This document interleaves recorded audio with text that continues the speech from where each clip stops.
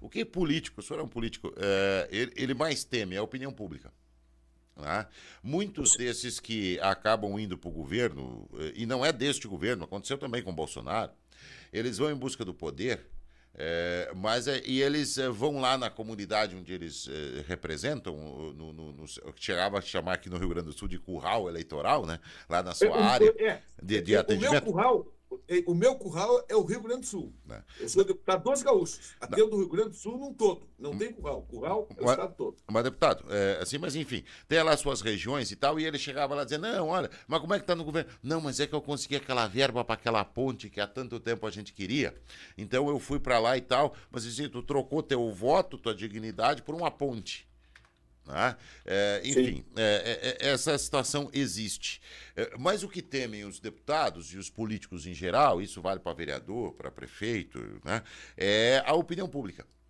Sim. É, e, e, hoje, com as redes sociais que a gente tem, a capacidade que se tem de. Por, por que, que, a gente não faz?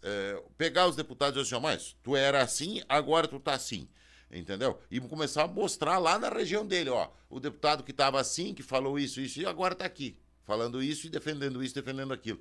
Porque aí Concordo. a gente vai começar a mostrar a verdade. Porque senão as pessoas chegam lá e aí os prefeitos que andam com o Pires na mão ali, ó, oh, o nosso deputado conseguiu 50 uhum. mil lá para fazer uma estradinha, muito obrigado. É, como se fosse isso a, a grande função do deputado. Né? É, tá, tá errado Olha, esse negócio. Agora, se nós usássemos sim. a mídia para chegar assim, ó, o deputado Bimoninos, ele defendeu isso aqui é, durante a campanha, o senhor tem que ser coerente com isso aqui. Agora, o senhor estava assim, por que, que o senhor está assim agora? Entendeu? É... O, o, a diferença é que, no meu caso, o meu voto é de opinião. É pelo que eu faço, pelo que eu falo, como eu atuo. Voto de opinião. Eu não tenho voto de emendas, por exemplo. Na eleição de 2018, eu fui o deputado federal mais votado do governo aqui do Rio Grande do Sul. Não tive apoio de nenhum prefeito e de nenhum vereador. Voto de opinião. A população, quem está me ouvindo, gosta do Bibo Nunes, vota no Bibo Nunes. Pela minha opinião, pela minha atuação. Esse voto de toma uma ponte, toma um, um dinheiro para fazer um galpão, não, não. Tanto é que nesta eleição eu distribuí as emendas e dizia assim: não se preocupem, não quero apoio de vocês. Um absurdo e acabei quase ficando fora. E fui mais votar na outra. Porque eu acho que a emenda é uma obrigação do parlamentar em destinar para a população. Eu não posso fazer votos trocando por uma emenda. Esse é o meu pensamento. Só que com isso eu quase fiquei fora.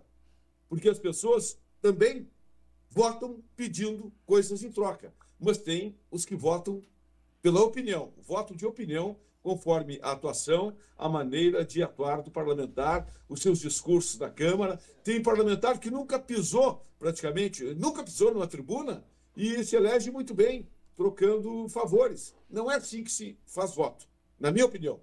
O que eu tenho para dar para a população é uma obrigação minha e não moeda de troca. Poucos pensam assim. Eu fiz isso e quase fiquei fora. Então, eu tenho, agora, quando eu tenho um amigo aqui. Digo, ó, não tenho... esqueçam de mim.